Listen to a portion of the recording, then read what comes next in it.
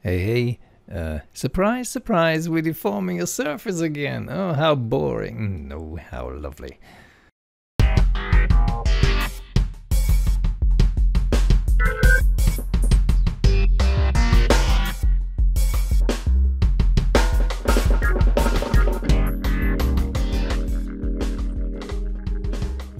So let's scale this one up here, go to the NURBS uh, settings here uh, the width can be even extended with this uh, width uh, parameter but uh, the crucial thing here is we need lots of geometry so 100 by 100 which is 10,000 faces now.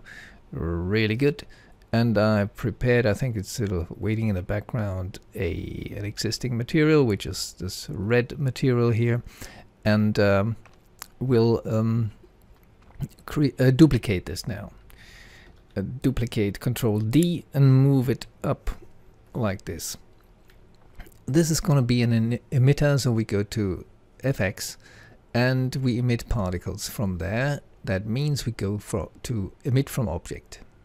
And we can uh, go to the emitter here and say not omnidirectional but uh, directional or from the surface. So what does it look like now? They're falling down more or less. How about directional?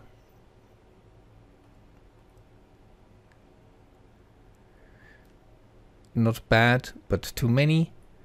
So let's go back to surface. So um, we have an emitter which emits particles, shoots them more or less down because they have gravity provided by the nucleus here. The nucleus has a standard gravity setting. Now we want this emitter which we can actually hide, be uh, manipulating this surface here. So we need to make this surface soft. That's under nParticles as well, because soft bodies are nParticles. And in the option box, you will see my settings, and I recommend you to apply basically the same. We uh, create uh, a duplicate, make the, the copy soft, so the original won't be soft uh, will be set, just sitting there. And uh, we uh, hide the non-soft body. That's fine. We could do this by hand afterwards but this is uh, quite practical.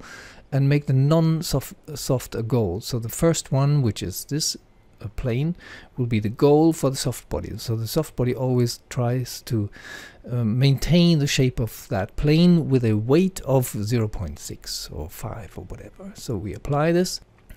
So we have particles and soft body.